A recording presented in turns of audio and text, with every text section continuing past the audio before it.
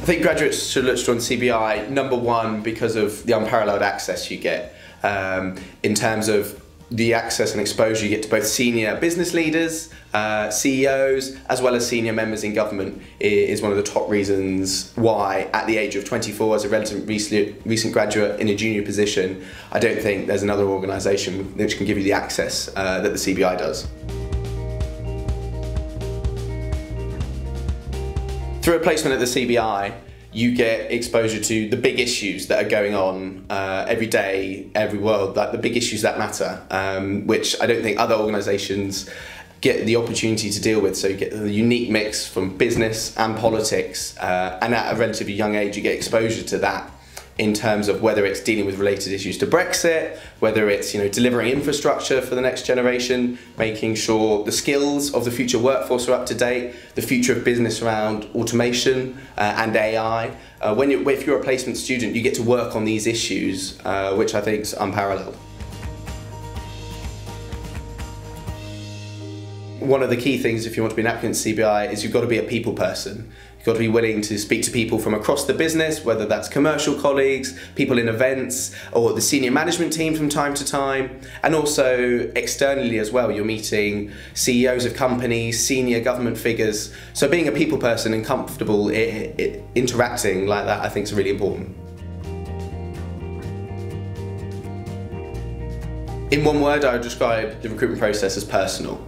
I think if you've brushed up on your CV and, and delivered that, and then I think you've got a real chance to shine at interview as well.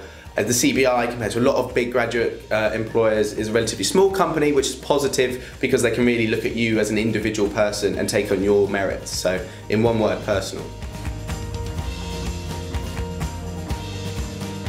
I think the current political climate makes the CBI all the more relevant and, and a more exciting and better place to work every day you come in, you see what's on the news, and that and that impacts your day-to-day job. So it's so dynamic and fast changing that in the environment which is change, which is ever changing, it makes the job even more exciting. So you've got to be reactive, keep on top of your brief, uh, and be flexible and willing to adapt. I've just completed a big report piece of work, which meant I got to go out into the regions, every single region of the UK, and speak to businesses one on one, which is really rewarding. And then when I got to the final write up, uh, it got onto the second page of a national newspaper. So it's really rewarding to see words you put to paper um, out there in the space, and you can talk to friends, family about, yeah, that, that's something I did uh, in a national newspaper. So that's really rewarding.